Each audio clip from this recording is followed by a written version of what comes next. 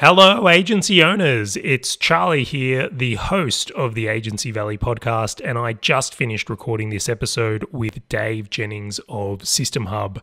Now, Dave is the guy that originally taught me about systems and had a huge impact on my life and the direction of my business.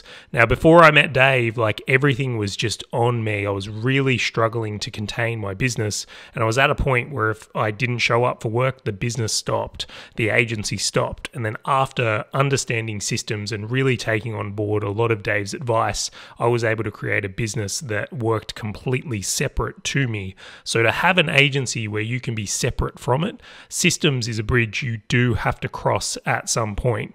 Now, Dave outlines some critical systems that every agency or business must have, which he calls his critical client flow. And then he also leans into how to deal with staff and team when it comes to systems and getting them on board to run the these systems for you. So that's enough from me in the intro here. If you do like the episode, please make sure to like and subscribe. And we'd really appreciate it if you're listening to, on, to us on iTunes right now. Please leave us a review. It really helps us reach more agency owners. So, into the episode.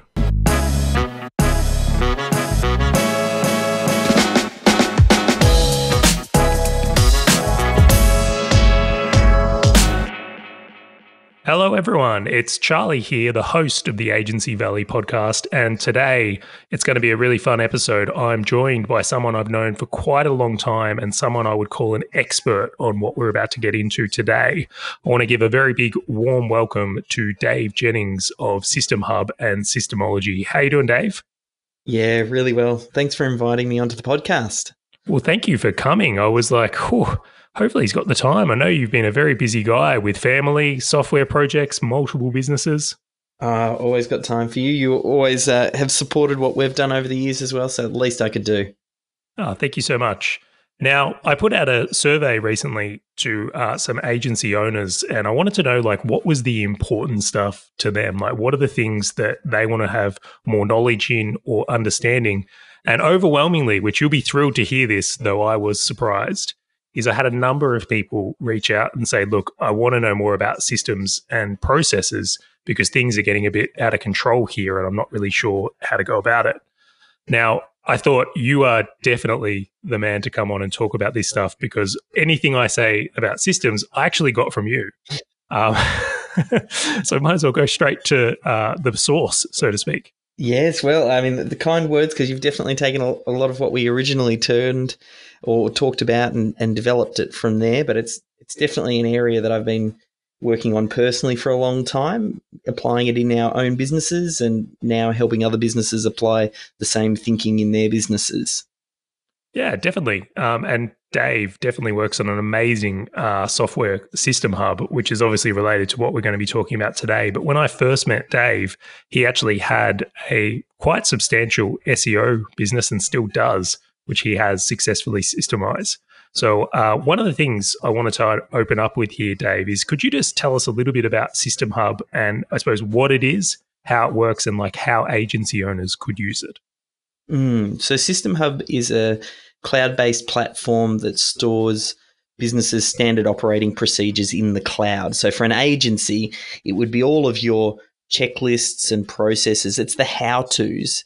Um, when I think about running an agency, there are really two main software platforms that you need to nail. There's the project management platform, which will look after the who does what by when.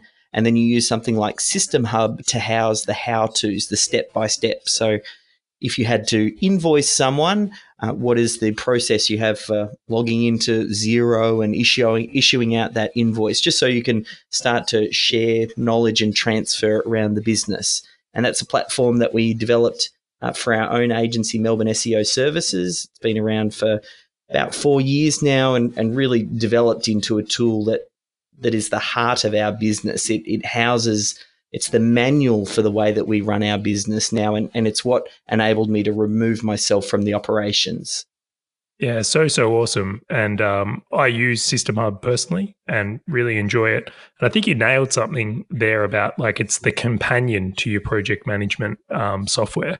So personally i'm a big fan of asana and i love having SystemHUB with that and i feel like they go really hand in hand. What's your project management tool of choice at the moment dave At the moment, we're using Asana, and then before that, we were using Basecamp. And I've worked with lots of clients in different industries, uh, particularly in agency land. Some people are using Podio, Teamwork PM, Trello. So it really doesn't matter what platform you use, as long as you've got something in place that uh, looks after the who is doing what by when, so you can really get accountability. Because that oftentimes, when it comes to systemizing a business, that is a missing piece. The accountability, like it's one thing to have a how-to document, it's another having someone actually follow it and check it off and have responsibility, saying yes, I've delivered to the standard outlined in the system. Yeah, I, I tend to agree with that a lot. Now, one of the things I wanted to ask you, uh, I'm even going to lead it in right now, is like, how did you first get into systems? How did you get exposed to this way of thinking and ideology? The first sort of real introduction to it was when I left school. I started learning about the stock market and trading. Basically, when I left school, I, I wanted to make as much money as I could, and I thought the way to do that would be to go learn how to trade the stock market. And one of the first things that I started to learn about was developing a trading plan. And that is very much just a, a step by step. What do you do at certain situations or in certain situations in the stock market? So you might be looking for stocks to exhibit certain criteria, and that might be an entry signal. You might look for stocks to exhibit certain criteria, and that would be a reason for you to get out. Um, because once money got involved in um, the stock market and when you're trading, oftentimes people become very emotional. So people develop trading systems as a way to remove that emotion to, to then create consistency, because that's really what a trading system is about. Um, and systems in general, it's about creating consistently. It's steps that can be followed that produce a consistent outcome. So that's where I kind of like first got the idea, but then dug into it a lot more. One of my early businesses was owning a rock and roll clothing music store that we were looking to franchise. And we franchised the first store and we brought on our franchisee. And one of the things that we did in that uh, sort of process was capturing exactly how every part of the business was done and developing uh, a manual for the franchisee on how to run that business. So I had some really sort of early introduction and, and training to systems thinking, and then obviously explored and developed that over time, reading books like E Myth and Traction and Scaling Up and Built to Sell. And th- there's a whole range of books that all kind of reinforce the importance of systems. Um, but it, for a lot of business owners, it's a very hard topic um, and skill to master, yet it's so critical for business uh, to succeed and scale. Yeah, I agree with that one. Um, you know, obviously, when we first get into business, or I should say, when I first got into business, is like all I was really concerned was with leads and sales. Like that was my priority. It's like you know, how do I generate a customer, so to speak, and like as you get better at that, you start to realize there's this whole other world. And then as you get further into business, you go, okay, well, actually, most of my time needs to be spent on systems and team. Like that's where the perspective starts to shift. Yes, yeah, for sure. I, I really feel like the business owner, where their biggest skill and talent and strengths live, is in problem solving. Because that's what a business owner did to create their business first off. They identified what is a problem that their target audience was having. They felt like that problem wasn't being suitably solved in the marketplace. So they went out and created their product, their service as a solution for that space. Uh, and then they kind of get into the business and they're learning and they're problem solving at every step of the way. Uh, and business owners are great at at solving these problems. Where they get stuck is they keep saving um, solving the same problem over and over. And to develop and evolve, really, the business owner wants to solve a problem once capture the method of the way that that problem or issue was solved in the business, create a system or process around it so that they can then move on and then start to solve higher, bigger quality problems. Yeah, definitely. I'd never thought about it like that. I think that's actually um, a very helpful perspective for a lot of people because that is the main function in reality. Is every day we get a set of circumstances or problems or things we've got to look at, and we're attempting to build solutions for that. And we might just be doing that on repeat ourselves, which is not advised, but we're definitely doing it. Yeah, and then you start to, once you solve a lot of the basic problems, uh, whether that's getting leads consistently, converting those leads, or onboarding clients, getting those clients a great result, getting them to come back, that's going to be consistent, particularly in an agency for all of the clients that they get on board. So if you can solve that in a systematic way so that it can be delivered without the business owner involved, uh, and then start to have your team step up, then the business owner is a bit more free to start to look around at other parts of the business that might be more neglected. So then they might start to look into finance and, you know, how are wages calculated? How do we make sure our cash flow is solid? Maybe they start to look in HR and they start to look at, you know, what does our recruiting system look like? Our onboarding system? Like there are a lot of other components to business and we just want to give the business owner some space so that they can then start to think about what the problems are and either they can solve them personally or they can identify the team member or the consultant or whoever's got the talent that can come in and solve that problem. And then again, it's all about capturing that problem, installing that solution within the business so the business owner can then move on to the next problem. Yeah, definitely. Definitely. Now, you've actually done something which I think a lot of agency owners aspire to, which is, in all honesty, a rarity. And I think you've done this very well. Is you've actually built an agency and systemized it to the point where it doesn't need you. Your business is a completely separate entity to yourself, which is freed up time for you to work on things like SystemHUB. So I wanted to ask, how long did that process take you?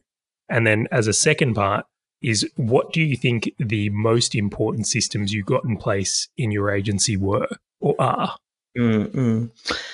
The process took to get the minimum viable systems into place, which we call the critical client flow, that took about nine months. And then beyond that, you know, probably coming up closer to sort of 12 months we, we started to fill in a few of the other gaps and you know i'm a, a few years into this journey now with having hired a ceo and she runs that um, and there's still little bits occasionally that she's kind of getting me to nut out and master like the operations hr finance um, a lot of the management type of stuff, all of that is incredibly well systemized. And there's a few things now that I'm just going back and putting the finer details on around the marketing because that is an area of um, expertise for me. And and oftentimes you you find you know it's like the plumber with the leaking pipes. Um, we, she really wanted to tighten up that area. So it's never a process that comes to a conclusion. It, it really is a way of thinking and becomes part of the culture and the way that the business looks at growing and solving problems and just just the way that the team functions. So it, it I suppose realistically for a, an agency owner if they wanted to focus on this and get some good traction i would say three to six months um, if you know exactly what you're doing you can nail the core parts of the business down then probably closer to sort of maybe 12 months, um, you would really start to get all of the different departments covered.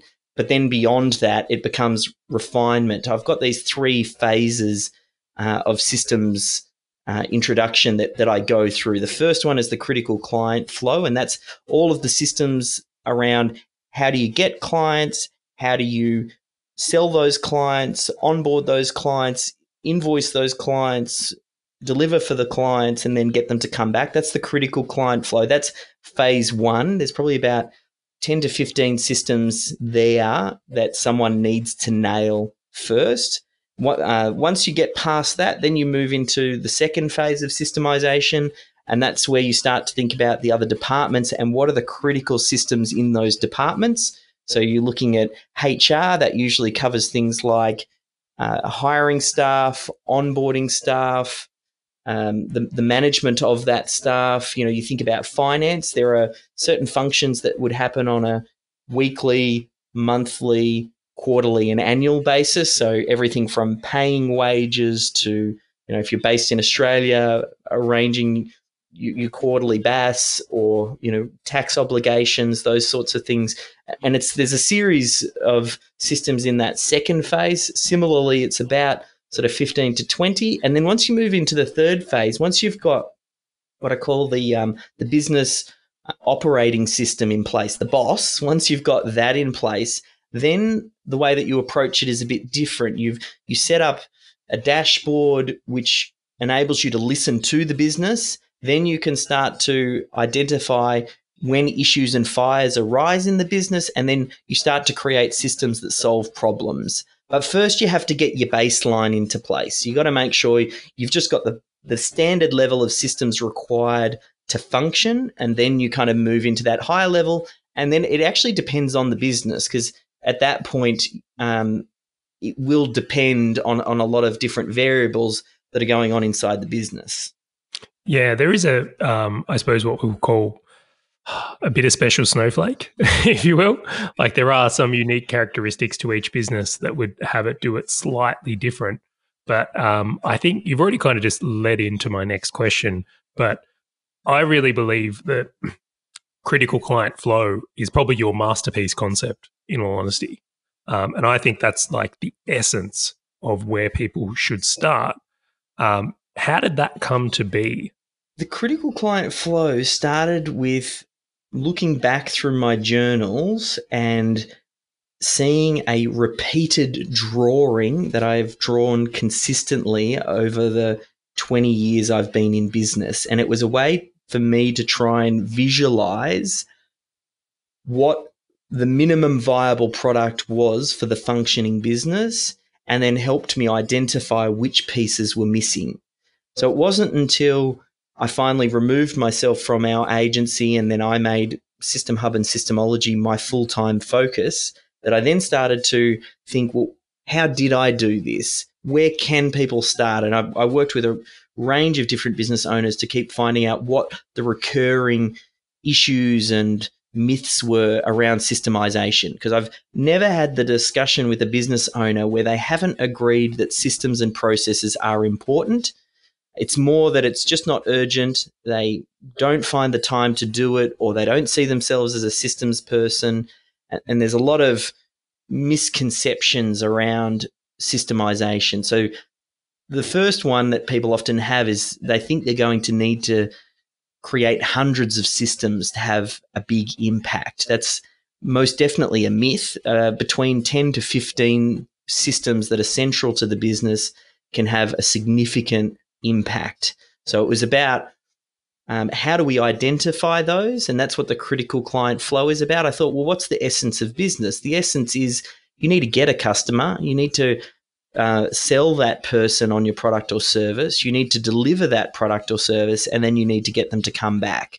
So, if you can visually map that out at a very high level, you do it on one page, it just gives the business owner so much clarity on what they should be systemizing first. And a lot of people actually get an aha moment just by going through the process because they'll, as they're drawing it, they'll go, I don't really have any consistent ways that I'm generating leads. I don't have anything that's replicable. I'm only relying on one or two channels, or maybe I'm just looking at referrals for my business. And then it's immediately clear and obvious why um, they don't have good lead flow because they don't have any lead generation systems or um, and it's it's different for agencies. Agencies are quite funny because a lot of the agencies are usually quite strong in their marketing, but then quite poor and weak on the operations side of things. Uh, and I have worked with numerous digital agencies that have gone through the SYSTEMology process. And as we've gone through it, they they have no trouble selling, but then when it gets to the point of delivery, they don't have an onboarding system. There aren't email templates that they can send out to the client to set the expectations. They haven't properly got their project management software in place where there are a series of steps and how to documents on how that's done. So, what it actually does, though, at a subconscious level, is the business owner or, or oftentimes the salesperson, um, in the back of their mind, whether they're aware of it or not, it, they they undermine their own selling capabilities because secretly they know if they get more clients, they're not going to be able to deliver to the right standard and things start breaking down in the back end. So it what someone actually needs to do nine times out of 10, particularly if you own a digital agency, um, a marketing agency, is first starting off with getting your operations systemized. Um, get that down, and then it actually makes it much easier to ramp up your traffic systems because then you feel confident that you can deliver to a high standard. Dave, I feel like you just stabbed at me so hard.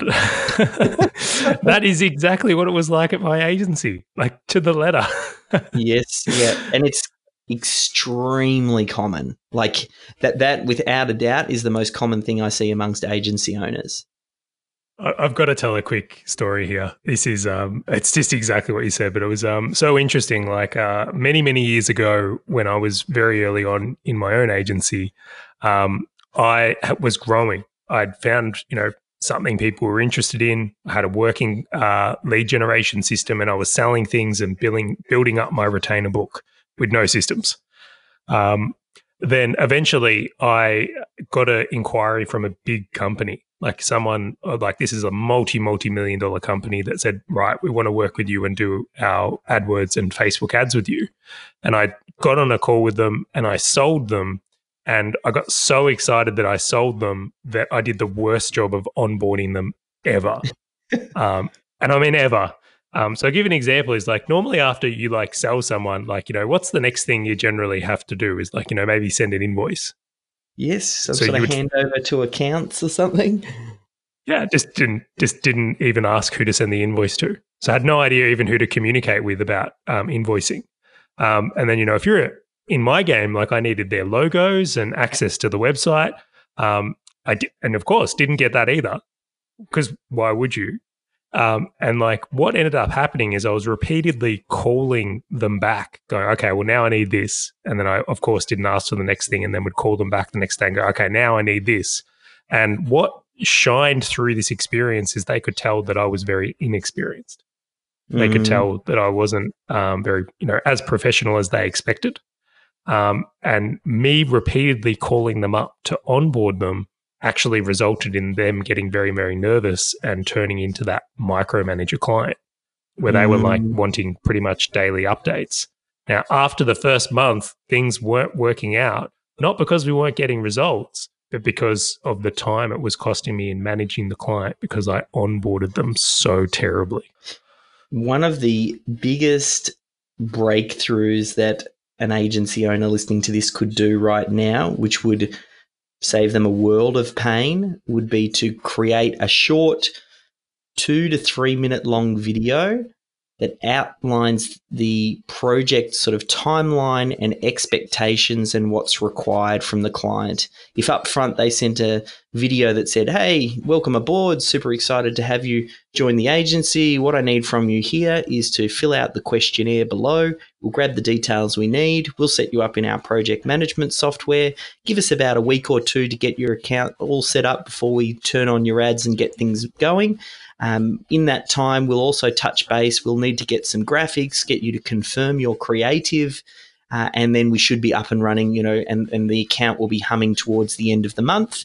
And then beyond that, we'll check in with you twice a month just to let you know how the project's going. You'll get reports from us once a month. Of course, if you have any questions at any point in time, just shoot us an email support at yourdomain.com.au have that right up front in a video, and that just sets the tone for the engagement and s- helps to reduce the ongoing micromanagement. We, we did something very similar in um, our uh, video production agency as well, because part of the digital agency was we made videos. And one of the, the recurring issues we had pop up was when it came to video, and we saw it also in um, our web development projects too. The clients, because we were very well systemized and and we needed to make sure that we kept the project within the scope. So we had very clear rounds of feedback and told the client, you will get one major round of feedback, two minors um, of feedback.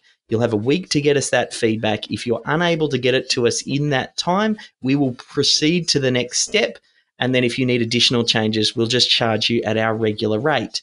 But what that did was it just it, let the client know right up front what to expect. We helped to explain um, by following our systems and our processes, we would meet you know their on time and on budget expectations and then if they fell outside of that or they were slow with feedback or they wanted to give us extra um, that they understood why things kind of went off track but that i mean that's a really easy implementation that, that an agency owner can do to get a big win I think someone should just pretty much re-speak what you just spoke then into a camera, and they'll. Well, it's funny. It's like because ninety nine percent of agency owners won't do this, and it's like if you are the one percent that do, what an impact that will make in so many ways. The other area, then, and it depends on the size of the agency. I mean, it's always hard when you're first getting started and it's you and a couple of part time contractors but if, if you start to get a bit of traction and you realize maybe, you know, you're not a lover of systems and process, you need to find your right hand man or woman that is the yin to your yang. You need, if you're a big picture, fast acting, go out and win the clients as quickly as possible, schmooze and network and, you know, great at your sales and marketing, but then you pour on the back end, then um, with the operations and the detail side of things and following through and systems and processes, then that should be something that um, you find someone to complement you because you really can't build a business that works without you, that is profitable, that scales. You can't build a team that scales without this. Like, this is fundamental for business such an interesting point. I think we're going to have to dive deeper into this part though, because um, I'll, I'll, be real. Like I struggled to do my systems originally. Like this was like um, forced feeding. We're going to go with. It's like I knew it was so important, and I hated every minute of it in the beginning. Um, but the results and what I got from it, it got me to enjoy it more. But then in future businesses, I've always gone with, I suppose, more of this approach of hiring someone um, or having someone on the team who could contribute. And it is a hundred times easier. Yeah, I think um, definitely at the start, it's what makes it hard is the business owner is looking for the immediate result. And the impact of systems aren't necessarily felt immediately. And the positive impact actually compounds over time. So one system, you might not get too much of a blip on a radar, but start implementing 10, 15 systems, get your critical client flow into place, and then it will revolutionize your business. But you kind of have to hold your breath through that period. And there's a little bit of an element of faith and trust. But deep down, the, the business owner knows. Like that's what I always find most interesting. Oftentimes, I'll have discussion with business owners, and they know this is what they need to do, but for whatever reason, they they resist it. They find other things. They deprioritize it. They, you know, maybe it's just because they don't like it. What, whatever it is, that they find a reason not necessarily to address it. So, I mean, if if you really struggle and you can't go head on with it, then you, you've just got to find another way around it. But at some point, you have to cross this bridge. I think everyone is inherently aware. And as you said earlier, it's like you, if you asked any business owner if they thought systems are a bad idea, I don't think anyone would say, yeah, they're a terrible idea. Don't do that. We all know this thing. We want to pretend it doesn't apply to us, but we know it. And um, I think you said something really interesting there about like the impact of systems and it can be delayed and there's a compound effect. But um, my, my experience was actually very opposite.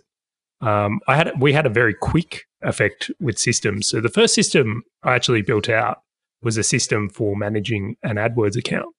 The issue I was facing in uh, my agency very early on at the time, this is many years ago, is that myself and one of my team were managing AdWords accounts and we were managing them very differently to the point where we could, I suppose, do work twice or both work on the accounts in different ways and get different results and like the consistency of things um, saw us taking, I suppose, more time than was really required on these accounts.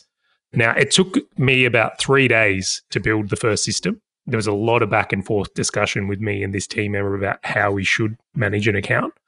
But once we agreed, the impact was almost instantaneous. Like mm. across those um, that month is like we noticed that we were substantially more efficient in our accounts and we're actually able to take on more work.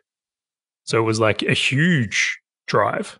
And it depends on where the business is at. The, the difference that you had right there was that you had another specialist who works on the tools. Whereas a lot of when they're smaller business owners and they're getting started, they're still the main person on the tools. So what they end up systemizing oftentimes is everything around the operations, which then frees them up. And then that's why I was saying you need that cumulative effect. So it does depend on where you're at. If you've got a a skilled team member who can take a large chunk of your work that is, you know, repeating doing the work, then you'll see an instant impact. That's a really important distinction, Dave. I really like that. So there is obviously an instant um, application then, but I, I, tend to agree that for the majority of systems and people, it will be more delayed, as you've kind of referenced to right there. Mm. But I want to dig into another. I want to go deeper a little bit here because this is one of the questions I got when um, I put this out to uh, the community. Was like in the example of doing systems with team. Um, something that I get quite commonly is that how do you deal with resistance from team members with systems? So this is either uh, team members who don't want to follow the system or team members that are resistant to having systems in a business? Mm.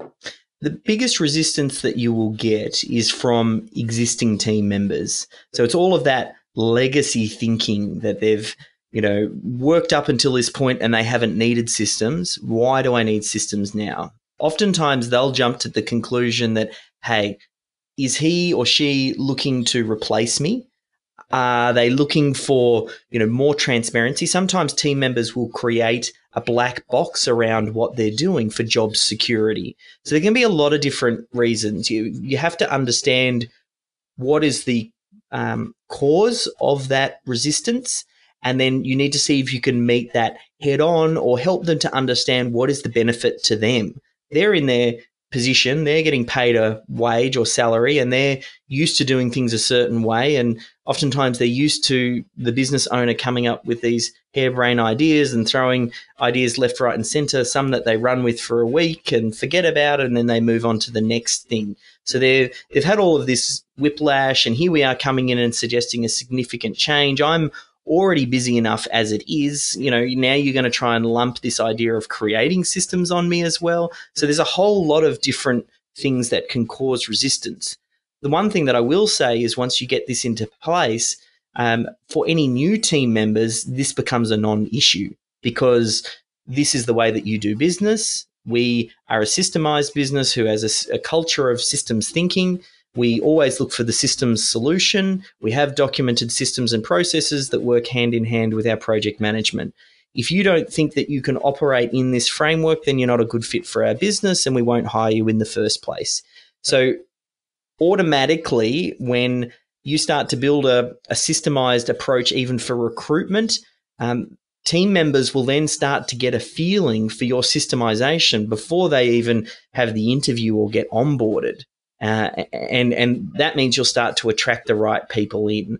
So then, with that in mind, if we don't have to worry about new clients or new team members that are coming on board, then it just comes back to addressing uh, the existing team members. So there's a couple of ways that that can be done. You have to think about, um, firstly, helping them to understand the benefits to them. So when people go away on holidays and they have to keep working while they're on holidays, or team members come back and they've got an inbox filled with 100 emails because nothing has been done while they've been gone, like no one likes that. So the systemization can help them go on holidays and help things keep moving. It can also help team members who want to move up in their uh, organization because if if someone is able to document, systemize their role and then delegate that to lower cost labor, that instantly instant, instantaneously makes them more valuable and means that they can move on to other higher level duties, which make them more valuable to the business owner.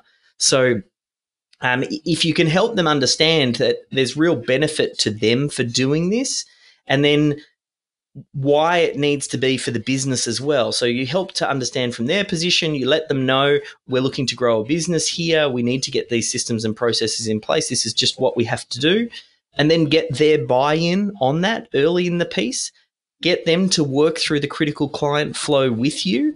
So you you take them through the process so they're involved and then you make it as easy as possible for them to document. So um, documentation is actually a two person role. There's the person with the knowledge, and then this person who does the documentation. So if you can make the knowledgeable person just make a recording of them doing what they're already doing, but they don't have to worry about documentation, again, that reduces some of the friction uh, and the resistance because now they're not necessarily the ones having to do the documentation. And that again starts to get you some wins. And then towards the end of this, you will find some people still won't be the right fit. And, and just like a business owner, the business owner um, that was required to grow the business up until now and this point that it's at isn't always the same business owner who, who will grow it through to that next level. You need to evolve and change. You might have micromanaged and been across everything to this point, but now to move through to that next level, you have to let go and let your team step up. So you have to evolve. Now, not everybody is comfortable with evolving. Some business owners get stuck, um, just like team members get stuck. And if you go through this process and find they're not the right fit for you, you'll actually find some of them start to self select themselves out. And it becomes obvious that they're not a good fit for the organization. And then it just becomes time to find the right people who will get on board with the mission and who will drive forward what you're looking to do. So, I mean, there's quite a bit there, but a few ideas maybe to get someone started.